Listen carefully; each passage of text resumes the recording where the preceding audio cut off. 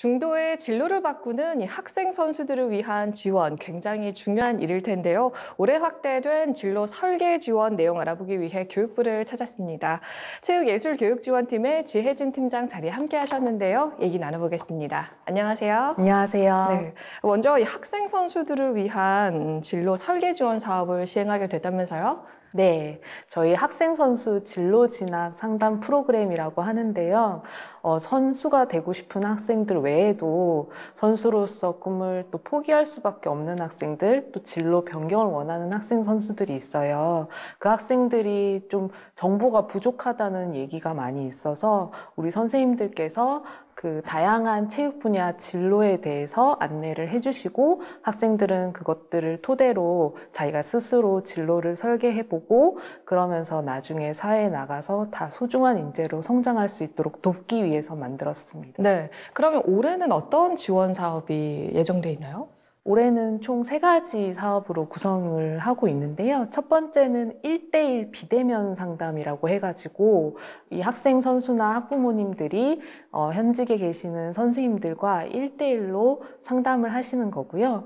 두 번째는 찾아가는 진로 진학 상담이라고 해서 전국에 체육 고등학교가 있습니다. 거기서 희망하는 학, 학교들을 찾아가서 진로에 대해서 안내를 해드리는 거고 마지막으로는 저희 부와 시도교육청에서 운영하는 학교체육 포털이라는 사이트가 있는데 거기서 게시판을 통해서 상담을 하고 있습니다. 네, 아무래도 어린 나이부터 운동을 시작을 하잖아요. 그래서 중간에 진로를 바꾸는 학생들이 좀 많을 것 같다는 생각이 들거든요. 실제로 이 진로를 바꾸려는 학생 선수들이 얼마나 되는지 또 왜 그렇게 결정을 하는지도 궁금해요.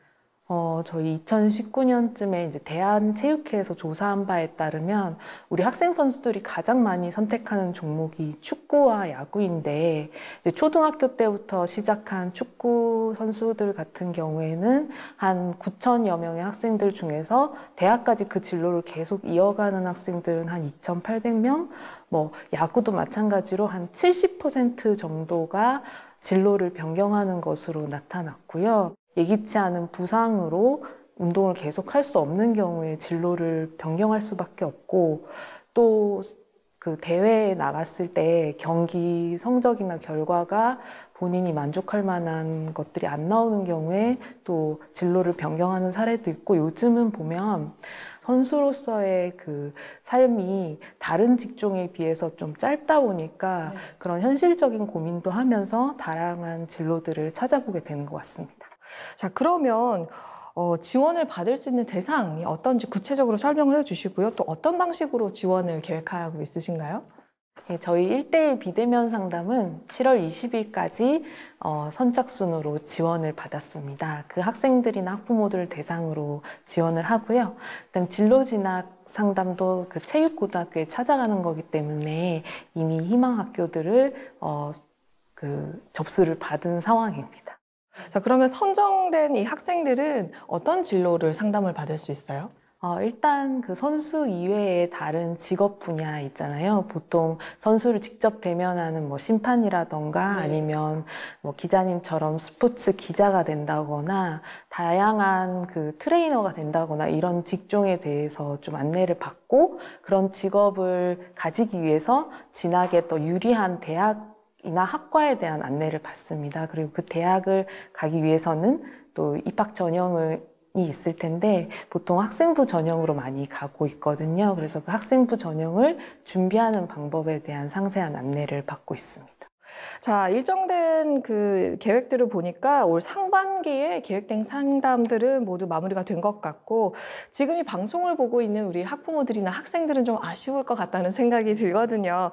지원 신청을 하려면 또 다시 내년까지 기다려야 될까요? 지금 좀 아쉽겠지만 현재 저희가 학교 체육 포털에 게시판 상담이 있어서 지금 당장 원하시는 분들께서는 게시판 상담을 받으실 수가 있고요.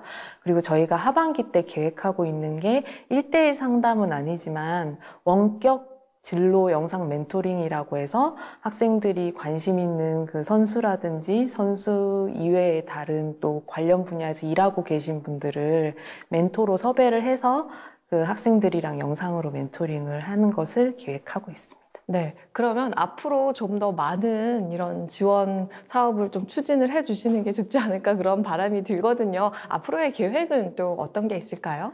현재 지금 멘토를 해주시는 분들이 현직 교사 중심으로 구성된 14분의 상담 지원단 분들이세요. 그래서 이 상담 지원단 풀을 좀 확대를 해서 내년에는 더 많은 선생님들이 참여를 하시면 더 많은 학생들이 이런 혜택을 받을 수 있을 것 같아서 상담 지원단 규모를 계속적으로 확대해 나갈 예정입니다. 네, 사실 이 선수를 준비하다가 진로를 바꾼다는 게 우리 학생들한테는 좀 힘든 경험이 될 수도 있는데 이게 좀 어떻게 하면 긍정적인 효과를 좀 가져올 수 있을까요?